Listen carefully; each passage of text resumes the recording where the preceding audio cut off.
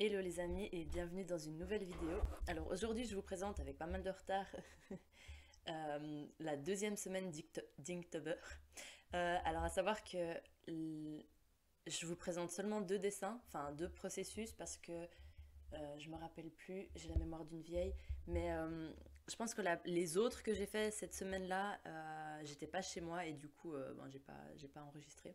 Donc je vous présente les, deux, si je me rappelle bien, celui à l'écran, c'est deux mots en même temps, donc il y avait watch et pressure, donc la montre et la pression. Et ça a bien résonné avec moi parce que, bon, je pense que vous l'avez, si vous avez écouté mes dernières vidéos, vous avez perçu que j'étais je me suis un petit peu mis dans une situation compliquée, c'est-à-dire que euh, je suis à la bourre pour pas mal de trucs pour l'université. Et du coup, ça résonnait totalement avec moi, euh, ces deux mots ensemble. Je me suis dit, bon, bah, je vais m'inspirer de ma situation actuelle. Donc, euh, en gros, c'est vraiment une petite illue, une petite pour me représenter, moi, en train d'être totalement nonchalante et de faire ma vie dans l'insouciance et le temps qui, cumule les devoirs et les obligations derrière mon dos. Voilà. Donc ça, c'était hyper drôle à faire. Euh, j'ai réfléchi longtemps sur la composition. Euh, j'avais aussi une autre vision en tête euh, où j'étais, on va dire, dans l'instant d'après, c'est-à-dire où le personnage il est écrasé sous la, sous la montre. vous voyez avec un, peu cette image du, en mode cartoonique quand vous avez un personnage écrasé par terre qui a les bras tendus en, signe de aidez-moi s'il vous plaît. Et finalement, je me suis dit que pour ma situation, j'étais encore dans l'avant de la catastrophe, euh, mais qu'elle était imminente, genre vraiment imminente. Et du coup, euh, je me suis amusée à faire, euh, à faire justement l'instant d'avant avec un petit peu cette tension de tu vas t'en prendre plein la gueule, Vinciane. Donc voilà, ça c'était marrant.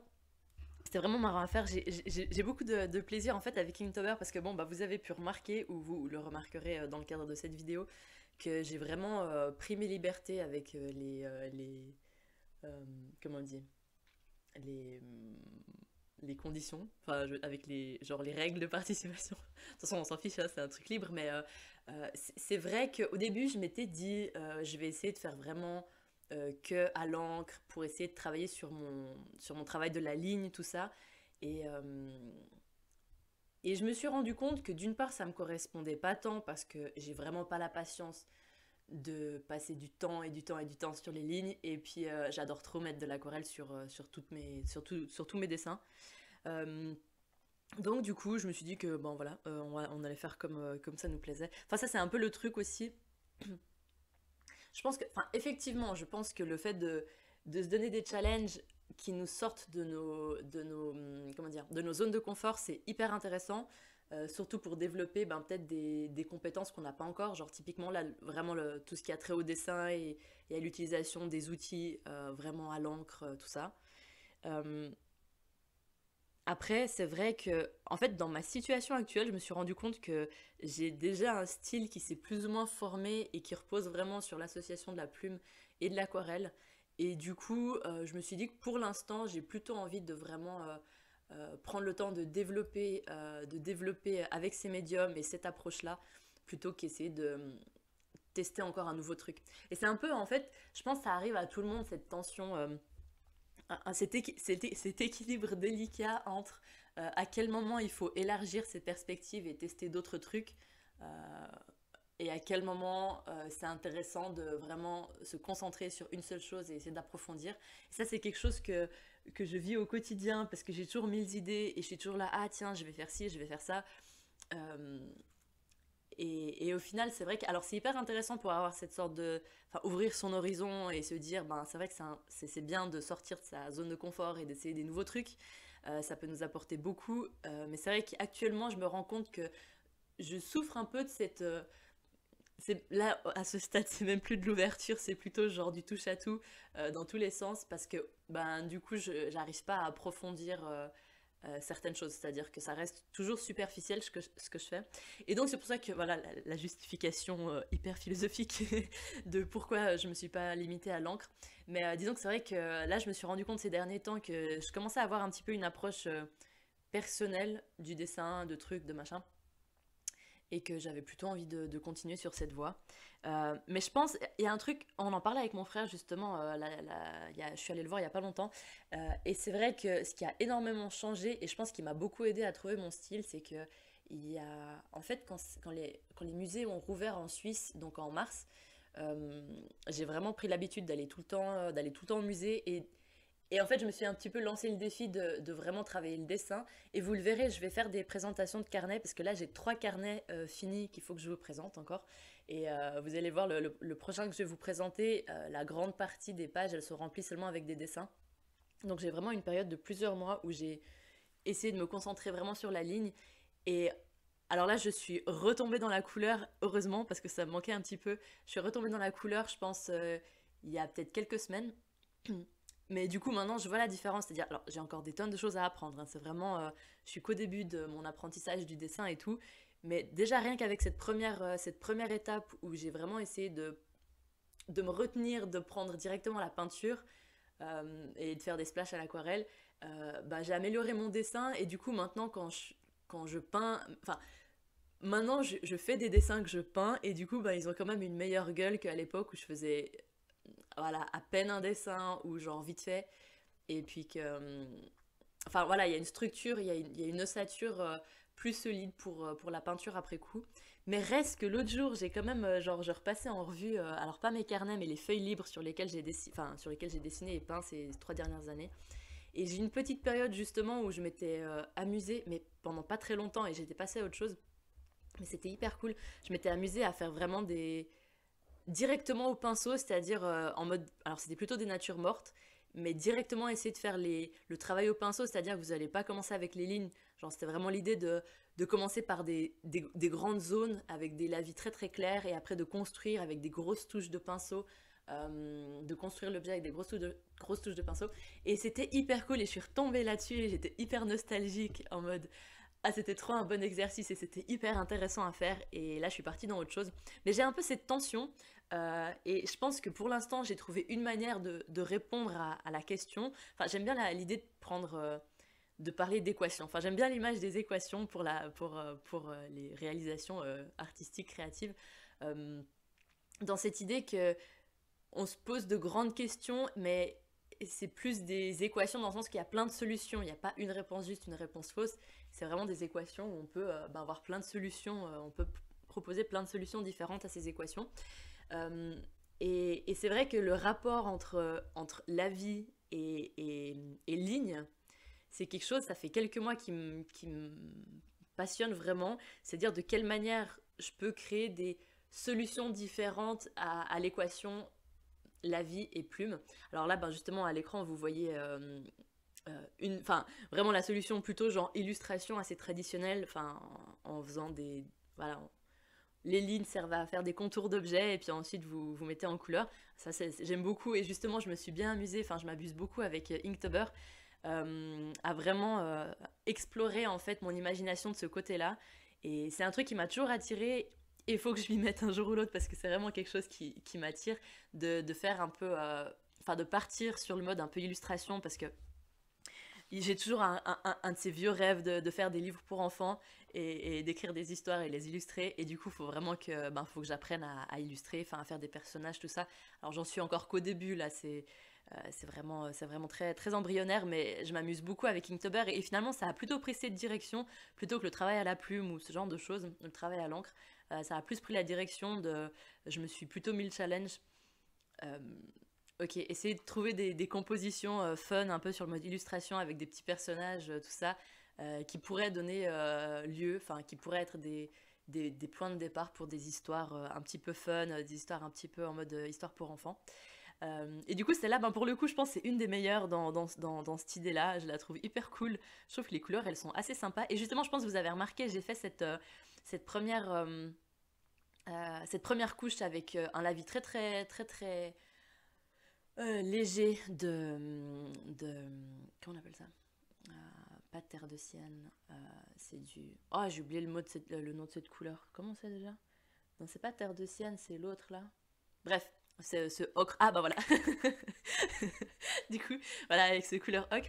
Et hum, alors je sais je sais pas encore ce que j'en pense mais ça c'est un truc que j'ai essayé de faire sur plusieurs de mes dessins dernièrement de, de, faire déjà une première couche de la même couleur sur presque, enfin, sur presque tout le dessin pour avoir une, une, une première couche qui... En fait, c'était un peu dans cette idée d'avoir euh, un sous-bassement de couleurs euh, qui servirait à harmoniser les teintes après. Alors je sais pas si ça marche plus que ça, parce que ouais, je vous ai dit, je pense que j'en ai déjà parlé dans d'autres vidéos, mais, eh, mais c'est super compliqué d'imaginer la, la, palette de couleurs pour une illustration quand vous n'avez pas de référence. Enfin moi en tout cas, je me galère trop. Et, et, souvent, euh, enfin, ça m'est arrivé quelques fois de, de faire des, des, illustrations, de partir dans des couleurs et ça joue pas du tout quoi. Enfin, j'en avais une autre, j'avais enregistré une autre euh, de mes réalisations euh, la semaine, justement la deuxième semaine, mais je la mets pas parce que je suis tellement pas satisfaite du résultat. Les couleurs, c'est. Alors le dessin, j'aime bien, enfin, je trouve ça sympa et tout l'idée, mais les couleurs, elles, elles, sont tellement dans tous les sens. Genre, après, c'est toujours le problème que ça, c'est une autre point de tension ces derniers temps. Je me suis vraiment rendu compte. D'ailleurs, je me suis pris une claque l'autre jour parce que bon, comme vous l'avez compris, euh, j'ai plutôt une manière de de dessiner et de peindre genre très spontanée et c'est quelque chose que j'essaye de développer donc c'est pas juste euh, par hasard c'est que j'aime vraiment euh, tout ce qui est improvisation tout ce qui est spontané. Et du coup euh, j'essaye de développer cette capacité à croquer très très vite à saisir très très vite par le dessin des choses voilà des, objets ou des situations. C'est vraiment quelque chose que j'essaye de développer donc c'est pas ça ça tombe pas de nulle part. Mais par contre le fait que je parte vraiment dans ce sens là ça réduit de plus en plus ma, ma ma capacité, ma compétence euh, de prendre le temps pour créer une illustration. C'est-à-dire que ben, par défaut, euh, quand je vais me poser pour euh, faire un dessin, faire une illustration, peu importe, pour moi, c'est une session correspond à, une illustration ou à un dessin. Et, je vais rarement, à part les fois où j'ai fait par exemple pour l'anniversaire de mes, de mes proches ou ce genre de choses où j'ai fait par exemple un tableau et là dans le sens qu'il y avait plusieurs sessions de, peinture ou de dessin, mais sinon je vais vraiment me poser et je vais avoir rempli une page en une session d'une heure ou de 30 minutes, peu importe.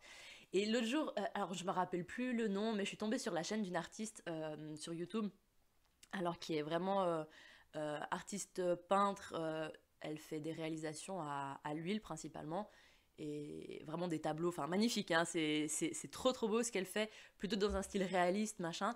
Et elle fait aussi des, petites vidéos, enfin des vidéos, des petites vidéos, des, des vidéos où elle fait des, des études d'après des œuvres de, de l'histoire de l'art, enfin d'après des maîtres. Euh, et elle fait des, petites études à la gouache sur des, sur des petits formats, mais hyper détaillés, tout ça.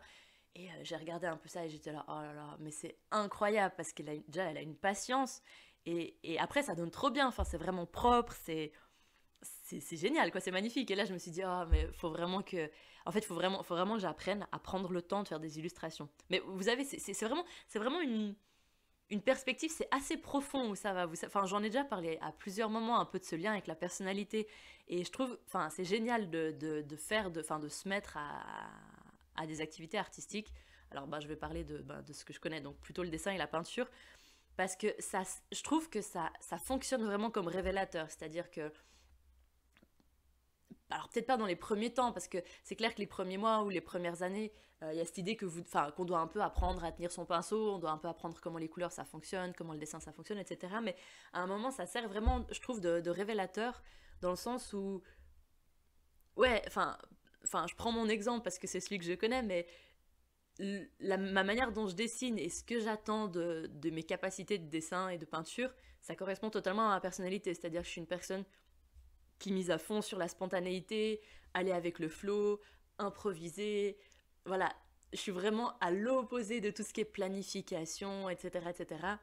Et euh, ce côté chaotique, qui est liée avec un peu ouais, un peu énergie chaotique, je dirais. Elle s'exprime totalement dans ce que je fais. Par contre, alors c'est hyper cool, moi j'aime beaucoup, hein, enfin dans le sens que, comme je l'ai dit, hein, je le développe volontairement aussi, mais c'est clair qu'après il y a des limites, c'est-à-dire que, bah, par exemple, j'ai plein de carnets remplis de d'illustrations entre guillemets. Enfin voilà, c'est si on prend un, un, tableau de référence, c'est plutôt l'ordre des, des, esquisses ou voilà des croquis.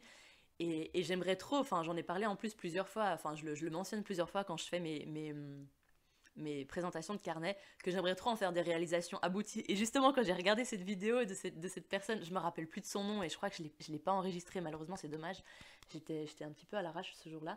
Mais euh, enfin de la voir justement déjà le temps qu'elle passe à faire des, des petites études euh, à la gouache et du coup après ben, le temps encore plus long qu'elle passe à faire des réalisations euh, sur toile à l'huile il y a vraiment quelque chose là-dedans. Et je me dis, c'est aussi ça, bah, j'en ai, j'en ai parlé, enfin j'ai mentionné ça au début de la vidéo par rapport à, à, cette tension et à cet équilibre très délicat à trouver entre à quel moment j'élargis la perspective, donc à quel moment j'essaye d'autres trucs et à quel moment je réduis la perspective pour me concentrer vraiment sur, euh, sur une seule chose. Et, et, c'est vrai que je me retrouve à un moment où je me rends compte des portes que je me ferme en misant seulement sur la spontanéité et la rapidité et le côté esquisse, croquis, euh, voyez, vraiment, vraiment rapidité de, de l'exécution. Alors, ça m'ouvre des portes pour un certain type d'image, enfin, pour certains types de projets, et par rapport à d'autres, c'est vrai que ça, ça, me ferme des portes. Et ça, c'est un truc. Bon, du coup, euh, vous le verrez pas à l'écran, mais la semaine, la deuxième semaine justement d'Inktober, le week-end, je suis allée, euh, je suis allée voir mon frère. Et, on a passé la soirée tranquille, tout ça, donc euh, enfin on discutait et j'ai eu l'occasion de, de, dessiner. du coup j'étais un petit peu dans mon monde, mais ça n'a pas empêché le bon déroulement des événements, mais bref. Et du coup c'était, le jour où, j'étais tombée sur ces vidéos, et donc c'était le 16 ou le 15, enfin, bref on s'en fiche. Et, et du coup c'était un soir où euh, j'ai vraiment essayé, j'ai fait, j'ai fait deux dessins pour euh, Inktober à chaque. Euh, non je crois pour un mot ou j'avais mis deux mots en même temps, bref on s'en fout. Et j'ai vraiment essayé de prendre le temps. C'est-à-dire que j'ai fait un croquis au, crayon, mais je l'ai vraiment travaillé un moment, un peu en bougeant les choses, en testant d'autres trucs. Et après, j'ai pris vraiment du temps aussi pour la couleur, de pas faire des gros traits de pinceau euh, en mode hyper expressif, mais plutôt de... Ouais. Et du coup, ça m'a vraiment apporté euh, de me dire, ouais, ouais, là je vous fais un peu l'histoire de ma vie, on s'en fout en vrai, mais ce, ce, critère temps en fait et, je trouve ça très intéressant parce que bah, quand vous étudiez enfin quand vous regardez un peu les artistes alors au sens très très large voilà euh, au niveau de l'histoire de l'art euh, bon, on va prendre plutôt le 20e parce que c'est vrai que avant tout ce qui était peinture à l'huile de toute façon ça prenait ça prenait plus de temps. Mais déjà les impressionnistes vous avez euh, vous avez cette idée de, de réaliser des tableaux en en une session sur le motif par exemple avec Courbet qui, qui a quand même réalisé plusieurs tableaux euh, voilà, il prend son chevalet, il prend son truc, il va dans la nature, il se pose et en une session, il, il réalise un tableau à l'huile qui est, alors d'habitude l'huile qui est quand même pas un médium qui qui est pas un médium du temps court, on va dire, mais euh, mais ce, ce, critère du temps, il est hyper important, je trouve, euh, dans, dans, dans l'œuvre des artistes et, dans la pratique, euh, les différentes pratiques des artistes. Et, c'est vraiment, assez profond le lien avec, euh, la personnalité des gens, je trouve. Et, ce qui est intéressant avec ça, alors là, là, je suis vraiment en roue libre, hein, je suis en totale improvisation, vous l'aurez compris. Euh, il y a sûrement des trucs à dire sur le sujet. Mais euh, ce que je trouve intéressant par rapport à ça, c'est qu'en fait, je reviens toujours. Alors, moi, je suis un peu idée fixe, hein, mais je reviens toujours euh, sur cette question fondamentale de pourquoi les images, enfin, pourquoi pourquoi on a tellement besoin de créer des images. Et c'est vraiment, c'est général. Enfin, je veux dire, là, justement, j'ai enfin fini un, travail universitaire sur, euh, du coup, sur, sur une question d'image scientifique. Et, et, déjà, ça m'a passionné cette, cette question de mais pourquoi il y a ce besoin tellement profond de figurer euh, les, les, êtres mathématiques, les théories, les prévisions, les, objets euh, scientifiques qu'on qu définit, tout ça. Enfin, il y a vraiment un besoin hyper profond de figurer les choses. Et c'est totalement en lien, je pense, avec. Enfin, c'est totalement en lien avec notre capacité de comprendre les choses. On a besoin de se faire des représentations euh, visuelles. Après, justement, c'est intéressant. Mais je pars dans tous les sens. Mais c'est intéressant. J'étais tombée sur un article. Euh, il y a des personnes, semble-t-il, qui sont. qui souffrent d'aphantaisie je sais pas si c'est le terme exact, mais c'est-à-dire qu'il semble qu'ils n'ont pas une imagination visuelle. Alors bon, je pense qu'on a, on n'a pas tous une... Enfin, c'est en proportion visuelle.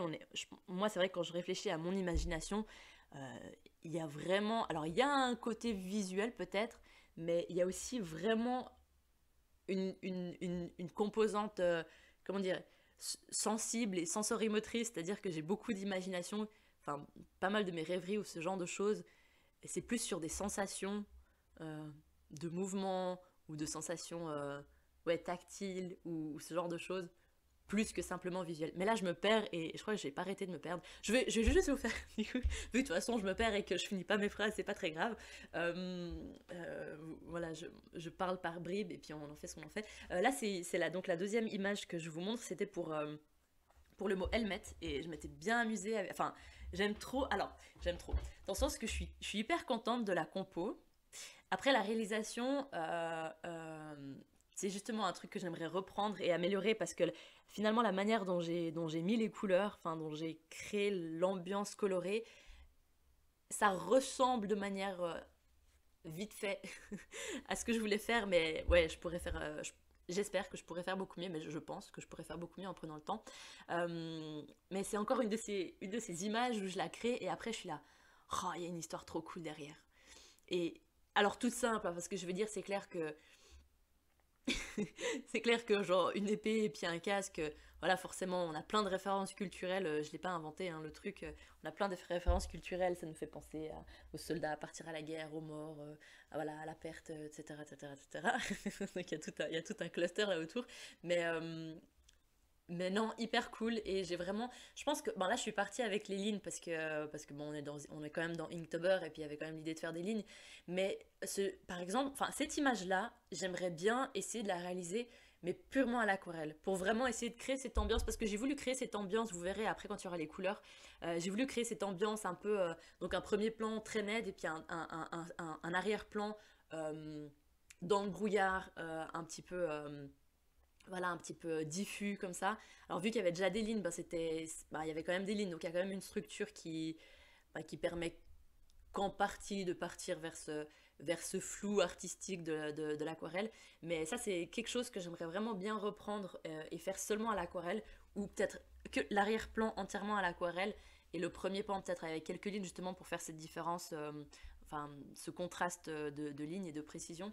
Mais typiquement, ça c'est un truc, ben, alors à voir non, je vais essayer. Mais je pense que ce que je vais faire à la fin, euh, fin d'octobre, bon là je suis encore en retard, hein, j'en ai, j'en ai, crois j'en ai trois ou quatre à, récupérer de cette semaine, je, suis un petit peu à la masse. Mais euh, je pense qu'à fin octobre, enfin fin octobre, après fin octobre, début novembre, je vais faire une petite vidéo où je vous montrerai tous, les, tous les dessins à la suite. Et je pense que je vais. Ce que j'aimerais bien faire, c'est que j'aimerais bien choisir mes préférés, genre 4 ou 5, enfin peu importe pas trop, euh, et essayer justement d'en faire des réalisations, mais genre super abouties, genre des, vous savez, genre un tableau ou, euh, enfin un tableau à l'aquarelle ou un tableau, enfin une grande feuille ou une toile, peu importe, mais aussi dans, dans, dans cet exercice, bah, j'en ai parlé pendant cette vidéo, d'aller un peu contre enfin pas aller contre parce que je vais continuer à faire des trucs super rapides et à, et à travailler le côté vraiment spontané et le croquis euh, le croquis super rapide. Mais j'aimerais quand même bien aussi travailler l'autre, l'autre axe, enfin l'autre partie du spectre et, euh, et faire des et faire des, des, des, réalisations abouties où je me force à prendre genre plusieurs sessions pour les faire en me disant bah mais après c'est ça qui est difficile c'est que moi je suis tellement dans, dans le paradigme vous savez de l'inspiration du moment genre le flow que souvent quand je commence un truc si je le finis pas quand j'essaie de le reprendre euh, plusieurs jours après, en fait, je suis plus dans le même flow et, j'ai l'impression que ça va se voir. Vous savez, genre que si je le reprends et que je le finis d'une autre manière, il y aura comme deux énergies différentes. Et puis, je sais pas si vous avez déjà fait, si vous avez déjà fait cette réflexion. C'est comme, en fait, enfin moi ça m'a fait plusieurs fois cette réflexion dans ma vie. C'est comme, alors si vous êtes le genre de personne comme moi à, tout analyser et à beaucoup réfléchir sur comment les choses fonctionnent, etc., etc., euh, moi je me suis rendu compte plusieurs fois dans ma vie que les moments où j'étais vraiment euh, perdue, dans, genre je suis dans une interaction sociale, je discute avec des gens, peu importe, et si je suis vraiment trop en train de réfléchir à ok telle personne a dit telle chose, moi je dis telle chose, enfin à planifier ce que je vais dire pour essayer de, vous savez, on a toujours l'impression que, qu'on arrive à contrôler l'image qu'on donne de soi aux autres, alors qu'en vrai, en vrai c'est un petit peu chimérique tout ça. Enfin, et du coup quand j'étais plus jeune, j'avais plutôt tendance à, à me perdre dans ma tête, à être dans cette euh, dans ce méta-niveau d'analyser la situation et d'essayer de vraiment réfléchir à ce que j'allais répondre avant de répondre, histoire de plus ou moins maîtriser les choses. Et en fait, je me suis rendu compte que, bah, déjà, c'est illusoire de penser qu'on a, a la possibilité de, de maîtriser ce que les autres pensent de nous. Enfin, ça, c'est bah, bravo si vous y arrivez, mais, moi, je pense pas qu'on y arrive. Euh, bref, mais surtout qu'en fait, vu que j'utilisais une grande partie de mon énergie vital, enfin ce que vous voulez, hein, vous l'appelez comme vous voulez, enfin une grande partie de mon énergie à réfléchir sur la situation en, train de se dérouler, bah du coup l'interaction qu'effectivement je projetais, enfin qu'effectivement je, je, j'étais capable de, maintenir, elle était hyper faible, c'est-à-dire que voilà, la voix très basse, euh, euh, genre, et du coup ça crée un peu cet effet genre personne hyper timide, hyper réservée, euh, qui a pas trop d'énergie, qui parle, qui parle bas, etc., etc. Et un jour j'ai vraiment une révélation dans ma vie quand je me suis rendu compte, enfin quand je me suis, je sais pas, je sais pas quel mot on pourrait dire, est-ce que je me suis permis, est-ce que j'ai osé, est-ce que j'ai fait en sorte d'être capable de, je saurais pas vous dire, mais un jour, j'ai un peu eu cette révélation de me dire, mais si j'arrête de, réfléchir à ce qui est en train de se passer et que je, je, plonge entièrement dans l'interaction et peu importe ce qui sort de ma bouche, ça ira. ben, du coup, je me suis tout d'un coup retrouvée à vivre des interactions beaucoup plus intenses parce que du coup, j'étais pas, euh, pas sur, la, sur le banc de touche, si on veut, où j'étais pas dans la, réserve, j'étais pas dans le recul, j'étais entièrement en, première, euh, en première ligne, si on veut, et, l'énergie, elle était entièrement destinée à l'interaction. Et du coup, ben, à partir de là, j'ai vécu des interactions beaucoup plus intenses et beaucoup plus profondes avec les gens parce que j'étais entièrement dans le moment et j'étais pas en train de réfléchir sur le moment. Je, voulais aller où avec tout ça? Je me rappelle déjà plus. Ah oui, je voulais aller euh, que je pense que oui, bah, pas, bah, oui, c'était ça. Il faut que je retrouve le fil parce que c'est pas facile de temps en temps. Euh, c'est que justement, bah, j'ai un peu cette impression, j'ai un peu ce paradigme par rapport à ça, donc à cette expérience de vie, que si je reprends ou si je le fais en plusieurs fois, euh, il y aura plus cette première inspiration. Et c'est un peu le problème que j'ai avec l'écriture aussi, parce que donc j'écris des articles assez courts et c'est toujours sur le mode de voilà, je suis inspirée, enfin je brainstorm, je brainstorm, je suis inspirée et j'écris tout, mais voilà, c'est une ou deux pages. Après, je retravaille un petit peu l'orthographe, ou souvent je fais pas mal de répétitions, donc euh, je, travaille un peu sur des synonymes. Mais sinon, c'est un premier jet. Le premier jet est le travail final, si vous voulez. Vraiment dans ce paradigme-là. Et bah là, j'ai vachement galéré avec euh, mon premier gros travail pour l'Uni euh, qui faisait 30 pages, c'est-à-dire que c'est pas du tout le même mode d'écriture. Enfin, si vous écrivez 30 pages, faut tout cracher. Enfin, déjà, faut accumuler la matière, tout cracher. Et au moment où vous avez vos 30 pages ou plus, bah, en fait, c'est vraiment qu'un premier jet et après, faut travailler comme une sculpture, en fait. Faut reprendre le texte comme un matériau, euh, comme, comme une matière première, réarranger, reformuler, remachin, retruc. Et, et, et cette, ce travail de longue haleine, c'est justement ce qui me manque. Et je le vois, c'est autant dans mon écriture que, dans mon dessin. Et c'est vraiment. Enfin, ouais, j'ai essayé d'esquisser un peu le truc, mais c'est vraiment deux paradigmes totalement différents de, fonctionnement, de personnalité, tout ça. Mais après, ben, je pense que la conclusion de l'histoire, parce qu'on va y arriver. Combien j'ai encore de minutes? 6 minutes? Ouais, non, ça va, j'ai encore le temps de parler. Mais un, peu l'idée, c'est que je pense qu'on est. Je pense qu'il y a vraiment un spectre du chaos total à l'ordre total. Donc voilà, si, si on veut donner une représentation euh, dans, dans l'ordre total, vous aurez cet artiste qui planifie tout à l'avance, qui fait des sessions et des sessions de sketch, de préparation, de composition, de machin, qui va travailler super lentement et qui va faire énormément d'étapes jusqu'à la réalisation finale. Donc la réalisation finale, en fait, elle est portée par des mois et des mois de travail. Et vous, voyez le genre, ça c'est, l'ordre total, c'est vraiment genre une partie du spectre. Et après l'autre, le chaos total, ce serait vraiment genre un artiste hyper dans l'expression et dans... Et on en a beaucoup hein, au XXe siècle qui, qui, ont, qui, ont, qui ont suivi cette voie et ça fait des trucs super intéressants. Mais vraiment plutôt genre l'expressionnisme gestuelle où, où, le tableau est le résultat d'un mouvement dans un temps court, mais qui est la trace de ce, de ce mouvement vital. Vous voyez, presque une chorégraphie, une danse, et, et, le tableau est la, est la trace ou la mémoire de, de ce déplacement dans l'espace pendant une durée courte. Ça, ce serait un peu les, les, les deux extrêmes du spectre. Et moi, alors, en tant qu'étudiante d'histoire de l'art, j'aime tout. Enfin, c'est-à-dire que c'est ça qui est marrant, c'est esthétiquement, il y a des œuvres qui me parlent plus que d'autres. Dans ma pratique artistique, ben, j'ai une certaine personnalité artistique qui fait que je fonctionne d'une certaine manière et c'est quand même ce qui me correspond le mieux. Mais après, en tant qu'étudiante en histoire de l'art, moi j'aime vraiment tout, quoi. Enfin, que ce soit les trucs hyper travaillés, hyper aboutis, hyper euh, réalistes, tout ce que vous voulez, que ce soit les trucs hyper gestuels, en mode euh, hyper chaotique. Enfin, moi, j'aime vraiment tout parce que je trouve que chaque chose est unique dans le sens que chaque œuvre d'art propose une expérience unique parce qu'il n'y a que elle qui propose ça. Enfin, c'est la plupart du temps. Alors, ça encore à discuter, bien sûr. Hein. Vous savez bien qu'il y, a aussi euh, pas mal d'artistes qui se sont amusés avec les multiples, mais dans l'idée, et majoritairement, une œuvre d'art, elle propose une expérience unique. Et c'est ça qui est intéressant, je trouve, quand on fait des études d'histoire de l'art, c'est que en fait, on apprend à apprécier et à s'intéresser et à vraiment approfondir la rencontre avec des œuvres qui nous plaisent pas esthétiquement. Et ça peut, et ça peut paraître, ça peut paraître contradictoire, mais en fait, c'est tellement cool. Parce que moi, quand je veux, du coup, quand je vais au musée, ben, il y a une portion d'œuvre qui me plaît. Genre, j'ai vraiment, voilà, ça me flash et je suis là, waouh, c'est trop beau et tout, c'est incroyable, que ce soit au niveau de la maîtrise technique ou que ce soit au niveau du rendu des couleurs, enfin, ou l'émotion, ou peu importe, esthétiquement, émotionnellement, genre, il y a des œuvres qui me touchent.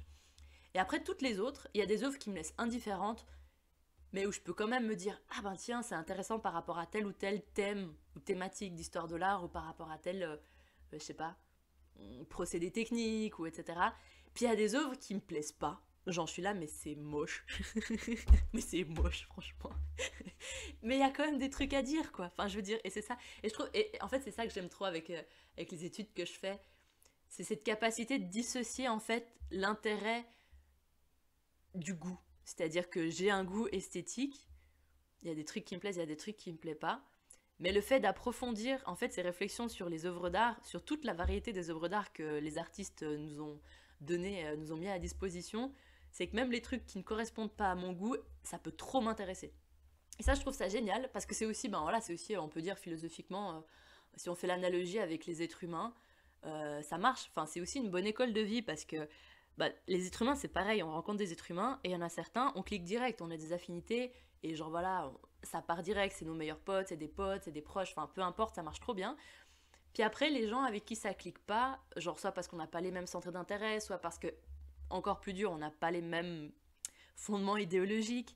Et, et ce qu'on voit aujourd'hui dans la société, c'est que la plupart des gens, quand ils sont pas d'accord, ils se prennent la tête et ils sont pas capables de, de vivre en, bonne, en bonne harmonie ou, en bonne euh, comment dire en bonne amitié. Et c'est dommage du coup. C'est vraiment dommage parce que en vrai même les gens qui nous qui nous correspondent pas idéologiquement ou esthétiquement parlant bah en vrai ça peut être quand même vachement enrichissant de parler avec eux. Même si on n'est pas d'accord. Enfin c'est trop cool. Enfin parce, parce que du coup bah, c'est cool. C'est comme une œuvre qu'on n'aime pas. Genre si vous prenez par exemple euh, bah, parce que c'est mais après, bon, peut-être qu'on en discutera. Parce que j'aimerais bien faire une série sur l'histoire de l'art, on en discutera peut-être une autre fois. Mais genre, si vous prenez l'urinoir de, de Marcel Duchamp, euh, tout au cours de son histoire, depuis qu'elle a été, depuis a été exposée la première fois dans les années 1900, c'était quoi 1917, 1918 Je me rappelle plus exactement la date. Euh, il y a sûrement des, Mais la majorité des gens qui sont là. Mais c'est un urinoir, c'est pas de l'art, c'est moche, et si, et ça, et il y a rien à dire de ça. Mais en fait, si, il y a tellement de choses à dire. Et euh, voilà, donc ma, petite conclusion philosophique euh, pour ce que ça vaut. Bref, euh, je vais m'arrêter ici parce que la vidéo s'arrête bientôt. Merci d'avoir écouté jusque-là pour toutes les personnes qui m'ont suivi jusque-là. J'ai pas trop parlé de ce qui se passait à l'écran, désolé. J'espère que vous avez pu suivre quand même. C'était très décousu aujourd'hui, j'ai l'impression. Enfin, je me rappelle plus trop ce que j'ai dit, mais quand je vais me réécouter pour, pour l'édition je vais sûrement me rendre compte que ça partait dans tous les sens. Et il y a sûrement plein de phrases qui sont restées en suspens. Euh, ouais. Euh, je vais faire une autre vidéo bien, enfin tout de suite sur euh, la troisième semaine. J'essaierai d'être un tout petit peu plus construite, mais sans promesse.